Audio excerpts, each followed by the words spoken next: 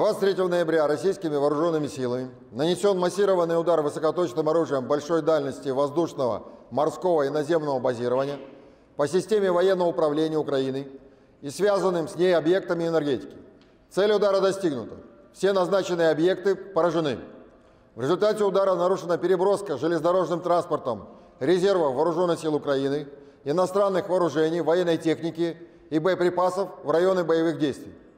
Особо подчеркну, ни одного удара по целям в черте города Киев не наносилось.